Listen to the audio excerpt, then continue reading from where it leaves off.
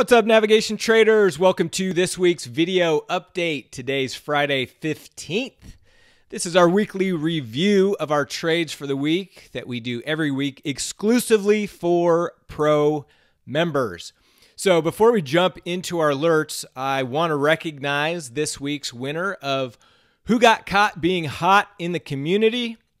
So, if I open this up, uh, this week's winner shared some great research, answered some questions from other traders, and asked some great questions too. So this week goes to Charlie Wissenant. Congrats, Charlie. You got caught being hot. And a lot of good engagement this week. Um, if you haven't been in the community uh, or if you haven't been in there in a while, make sure you check it out. Uh, we've got some some members posting some really good stuff, including you know, Mike continues to post his earnings trades every day, which has been really cool to watch. Uh, just other people posting great stuff too. So if you haven't been in there a while, make sure you check that out. It's growing rapidly and becoming an, a really great resource for our membership. So let's jump into the alerts starting with Monday, the 11th. Our first trade was a closing adjusting trade in IYR, which is the real estate ETF. We had an uh, we had on an iron condor. Price breached our upside break even, so we closed out the untested side. So we're still holding the call vertical side of that. You can see prices has moved really significantly out of range now. And if we look at a chart of IYR, I mean, man, look at this thing. I mean, that is just a parabolic move to the upside you know, we were joking in the community earlier this week that I, I, don't think the the market's allowed to go down anymore. I mean, look, that is just crazy. And so we're just going to continue to manage as we can. Um, the uh, in addition to that, uh, closing that out, we also added another kind of tight iron condor.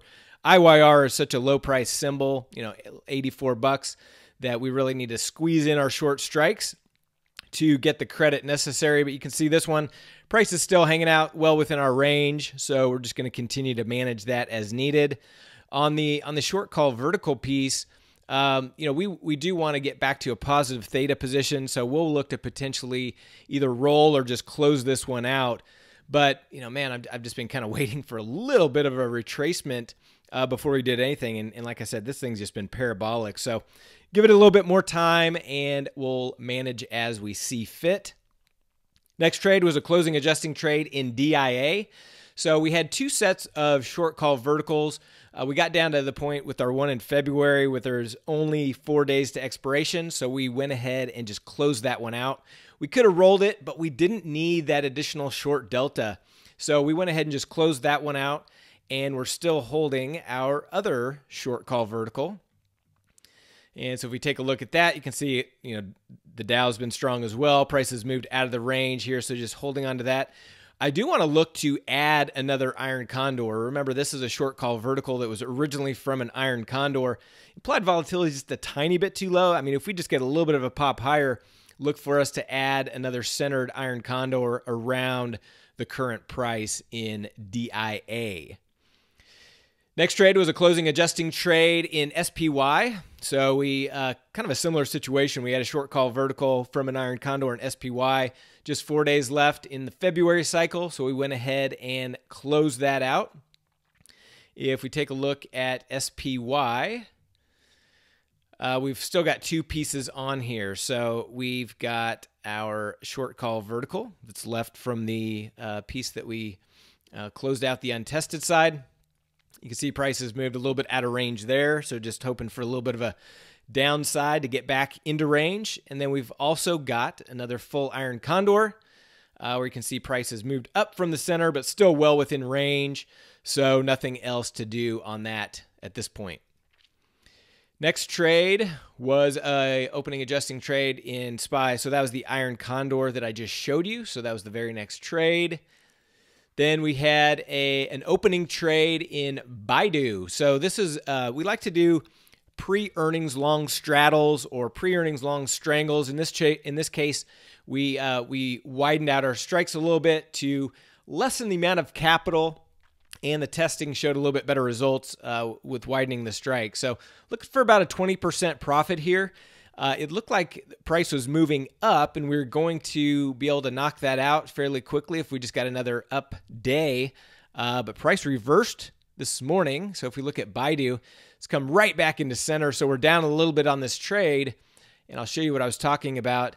You know, we are this morning we are up here, and you know it looked like price may continue higher. And if we just got up to around this, I just set these lines on the chart. If it got up to about there, that would have been a point of potentially exiting for a nice profit. But price reversed, uh, going against the market. Baidu's down over 2.5% today, while the rest of the market is up around a percent, uh, depending on what index you're looking at. Um, so, anyway, we're just going to hold this one. We've got earnings coming up on the 21st, February 21st, after the market close. So, we definitely want to be out of the trade by then. Uh, so, we'll see if we can get a little bit of a move either down or back up uh, to get a little bit of profit before we jump out of that one.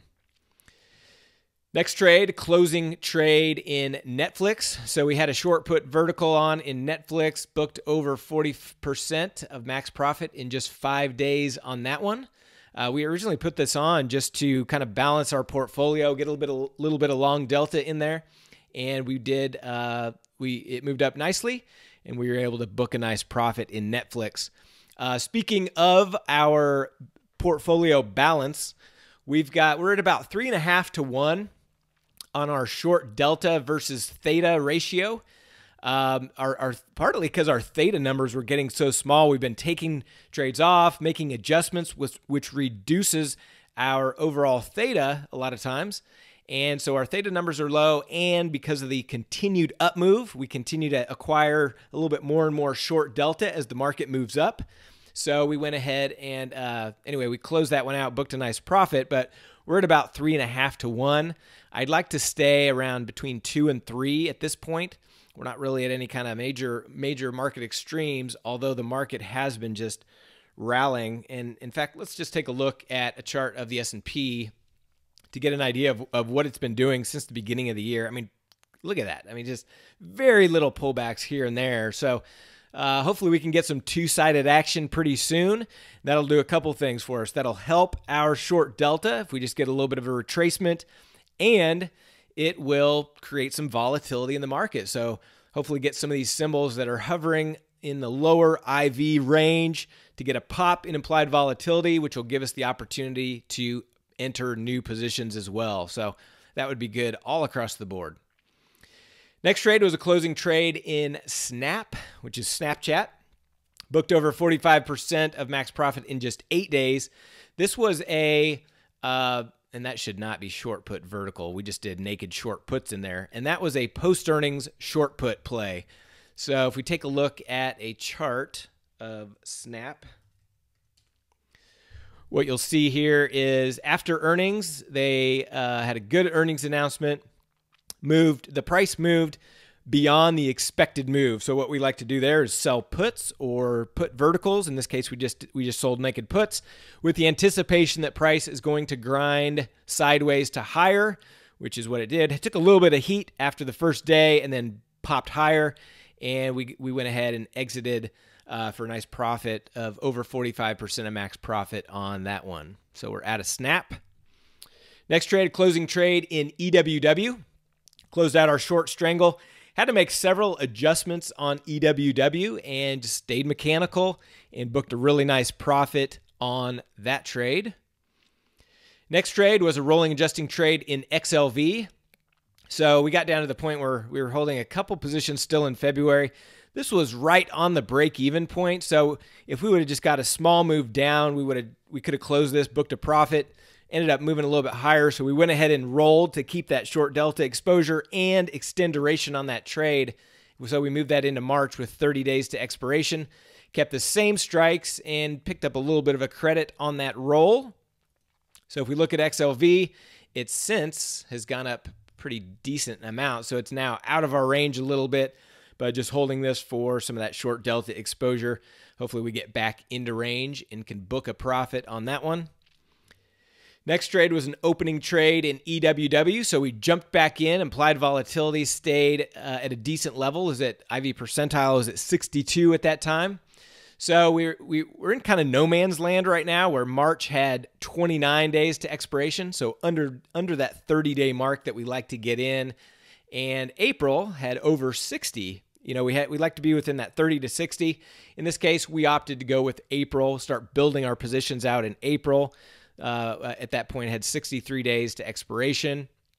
And so if we look at EWW, you can see still very centered here, not much movement uh, since we put that on just yesterday. Next trade was a rolling adjusting trade in forward slash ES. So this was our last February position, and we went ahead and we held this one all. We were already at kind of uh, the max loss uh, on this piece of the trade. And with the futures, you're not going to get assigned until expiration date. So there's no issue with with holding in the money positions in futures in the ES. And that's why one of the reasons why we just held on, just in case there was a you know a, a dynamic move lower. Uh, we were just kind of holding on to that as a little bit of a lottery ticket, but got down to expiration. Wanted to keep this one on as one of our short delta hedges. And so we went ahead, and in this case, we, we went ahead and skipped over March and rolled straight to April with 62 day, 63 days to expiration at that point. And uh, uh, so that's where we're at on that one. So let's take a look. And you can see the price after the rolls moved up a little bit, but still within range. So again, just holding that for that short delta exposure. Next trade was an opening trade. So these are today's trades. On Friday, we did an iron condor in NVIDIA. And, um, and we're targeting 30 to 40% of max profit there. They just announced earnings last night. And so, uh, but we the the implied volatility crush did happen but IV percentile still hanging out above that 50 level when we put this on. And so we went ahead and we were looking for, you know, there's a lot of symbols that are starting to get lower and lower implied volatility. So we're really searching. Uh, we we prefer to do sell premium iron condors, short strangles. We prefer to do that in ETFs or futures first. But if there's nothing available and we're looking to enter new positions, we'll look at stocks next. And we don't like to deal with the earnings announcements and so forth, but with NVIDIA just announcing earnings, we're not going to have to deal with that for another quarter. And implied volatility was still a little bit uh, elevated. It's already gone down to 48. We put this on when it was at 54. And so just holding that, hopefully price stabilizes and we can continue to collect some theta on NVIDIA. And lastly, we did another opening trade where we sold some more premium, in this case in forward slash 6B, which is the British pound. And as I mentioned, we did a strangle, but you could also look at iron condors if you wanted to define your risk, which I know a couple of members did so. Uh, if we look at FXB, which is the corresponding ETF, to get a good read on the implied volatility, see implied volatility is still nice and high, popped up to 76. And so we went ahead and sold some premium in forward slash 6B. And so you can see that's that's pretty well right where we put it on. And so just waiting for some time to pass in 6B. Uh, I mentioned this in the community earlier this week, but um, if we take a look, uh, they just released the April and May option cycles. Uh, before, when I was, even though implied volatility was high earlier this week, I did not put on a position because there was the March options with less than 30 days to expiration, and then there was June with 112.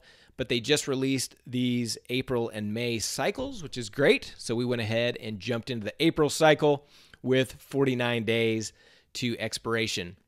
And I talk about I've talked about this quite a bit, but keep in mind this is on toss uh, Thinkorswim. If you are trading on Tastyworks, they label the expiration months on futures a little bit differently. So always pay attention to the days to expiration. And I always post those in the alert so that you know which cycle we are dealing with.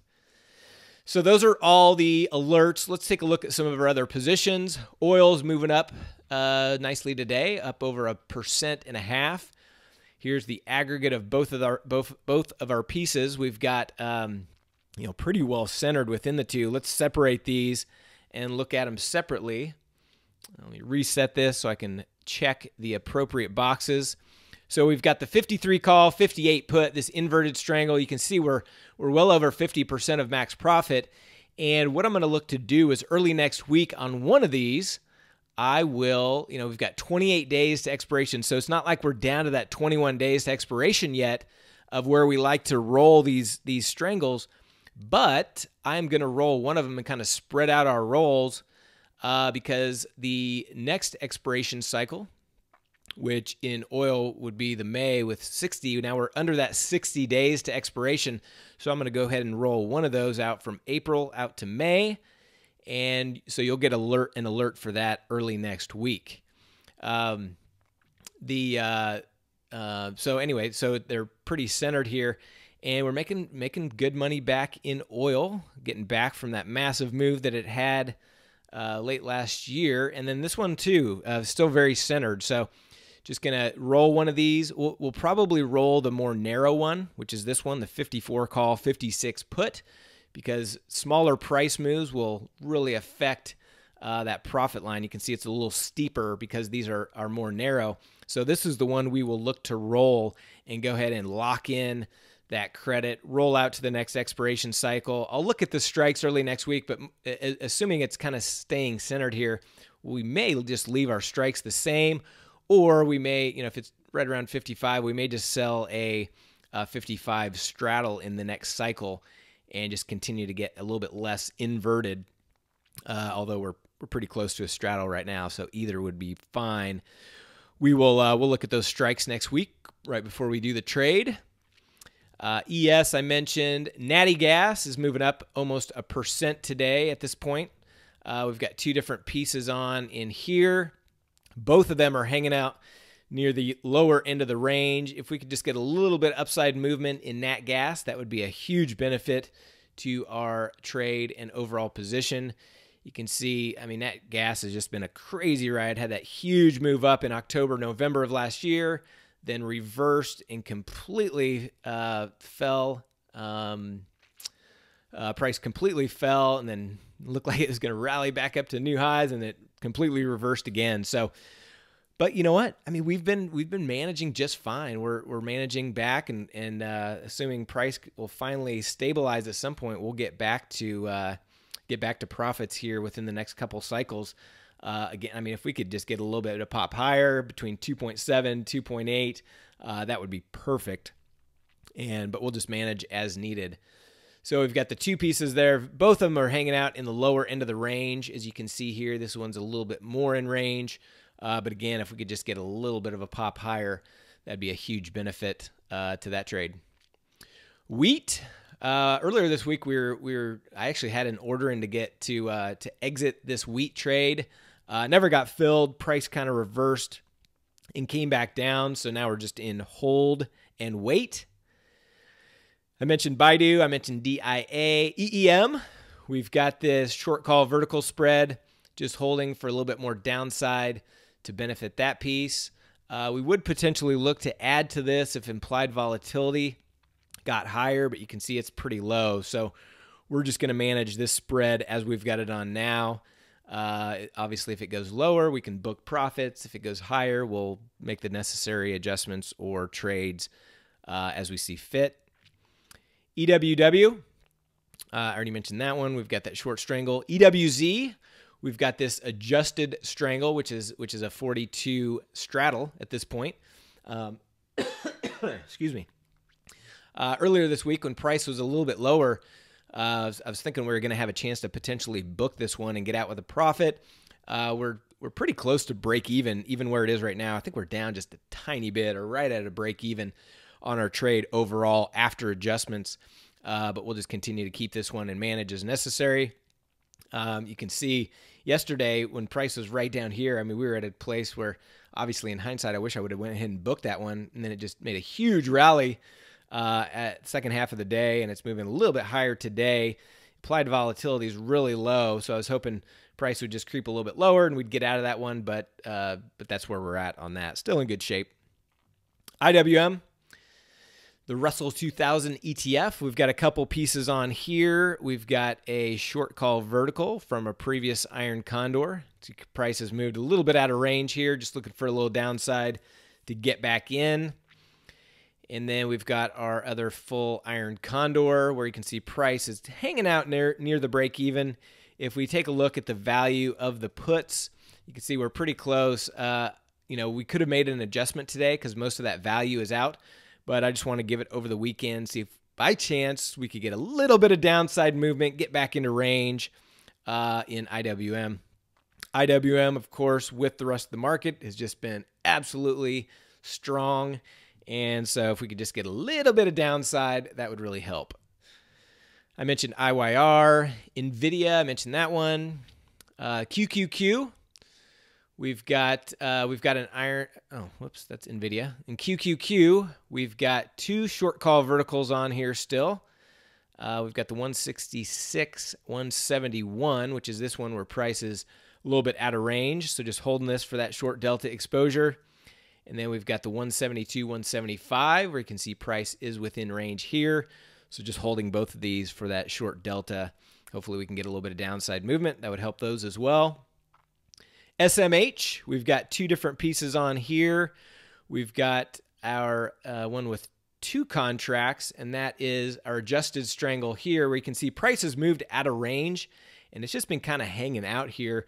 We hadn't made an adjustment because there was still a decent amount of premium left in the puts. That's getting to a point where we're we're needing to potentially adjust, but same thing. I'm just kind of holding this over the weekend. If price moves much higher, we will roll these puts up. If we if it moves down, then we'll just continue to manage.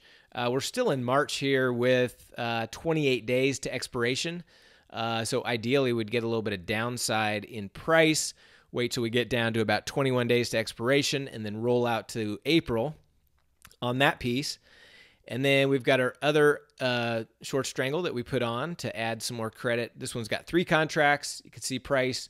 Uh, we've got some profit on this one, not quite enough to book yet. So just holding on, holding onto that piece for now. SPY, I mentioned that one. XLK, the healthcare ETF. We've had this one on for some short delta exposure. It's a long put vertical, so just looking for some downside to get back into range there. Uh, XLV, uh, I mentioned that one. That was the one that that was real close to being profitable. We just went ahead and rolled it to collect a credit, extend duration. So just looking for some downside on that one. And lastly, XRT, the retail ETF. We've got an adjusted strangle here. Uh, 41 call, 43 put, so slightly inverted. Uh, still a decent amount left in those puts, so not quite ready to make an adjustment yet. Uh, but hopefully we get a little bit of downside movement there. Uh, now let's take a look at the implied volatility. Uh, yeah, it, I mean it's close. If if we get a little bit of a pop up in implied volatility, I would look to potentially add onto this trade by entering a new centered strangle and I would do that now in the April cycle where we're under 60 days to expiration. So those are all the alerts. Those are all the positions. Everybody have a great weekend. We'll talk to you next week.